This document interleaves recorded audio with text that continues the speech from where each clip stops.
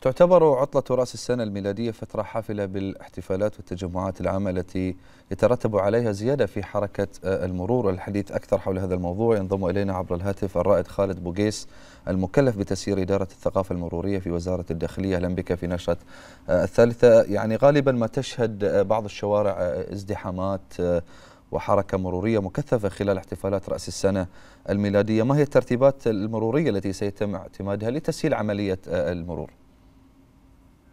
مساء الخير عليكم وعلى السادة مشاهدي الكرام. أكيد يعني خلال هاي الفترة نفس ما تفضلت وقلت ستشهد شوارع البحرين كثافة مركبات وخاصة بعد ما أعلنت عنه هيئة البحرين للسياحة والمعارض من فعاليات في, في هذه المناسبة اللي تأتي ضمن أكيد برامج نوعية كرافد من روافد قطاع السياحة في مملكه البحرين. لذلك كل أجهزة وزارة الداخلية ستشارك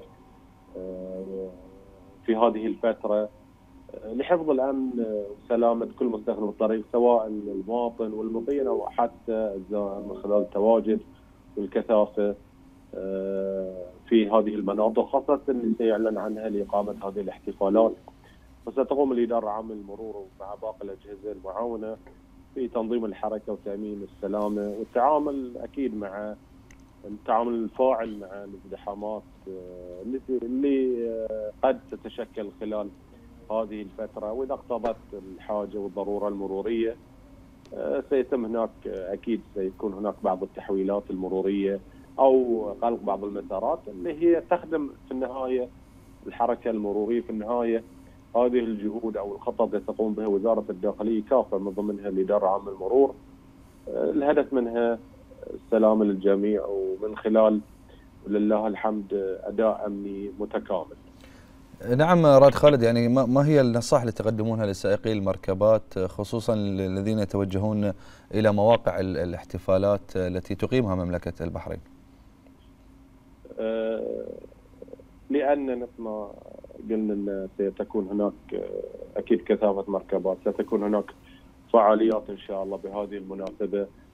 يمكن من أهم النصائح الخروج وقت كافي لأن الرحلة ستكون أطول من المعتاد. ف سيعلن عن أوقات هذه الفعاليات أو حتى المكان ستتجه له حط في بالك إن ستكون رحلة أطول من المعتاد. فيطلع قبل من الوقت الكافي حتى تصل إن شاء الله إلى هذه الفعالية. وأيضا من خلالكم دائما ننوه ضرورة الالتزام بكافة الأنظمة والقواعد المرورية من أهمها مناطق الفعاليات ستكون سيتم توفير مواقف للمركبات نعم. رجاء يعني الالتزام بالمواقف هذه المخصصة وعدم الوقوف الخاطئ أو الوقوف خارج هذه المناطق اللي أنت ستسبب فيها ازدحامات مرورية وأولياء الأمور.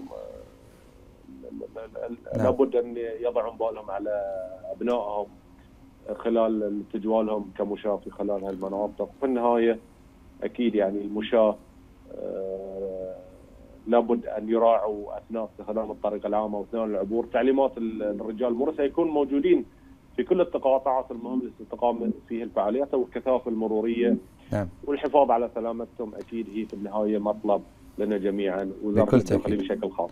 نعم بكل تأكيد الرائد خالد بوقيس المكلف بتسيير إدارة الثقافة المرورية في وزارة الداخلية شكرا جزيلا لك.